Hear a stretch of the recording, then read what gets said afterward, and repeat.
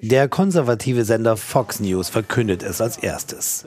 Donald Trump wird der 47. Präsident der USA. Auf der zentralen Wahlparty der Republikaner in Florida brechen die Anhänger in Jubelstürme aus.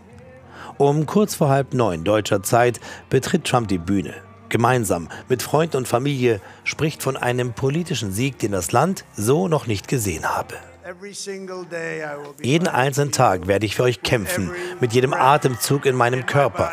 Ich werde nicht ruhen, bis wir das starke, sichere und wohlhabende Amerika haben, das unsere Kinder verdienen, das ihr verdient. Das wird das goldene Zeitalter Amerikas.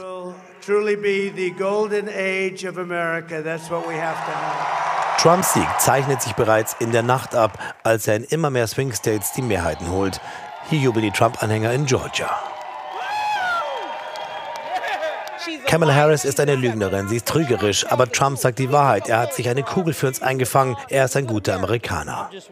Ich frage mich nur, ob ich am Tag der Amtseinführung ein Hotel in Washington bekommen kann. Kumpel, Amen. Mann, Amen.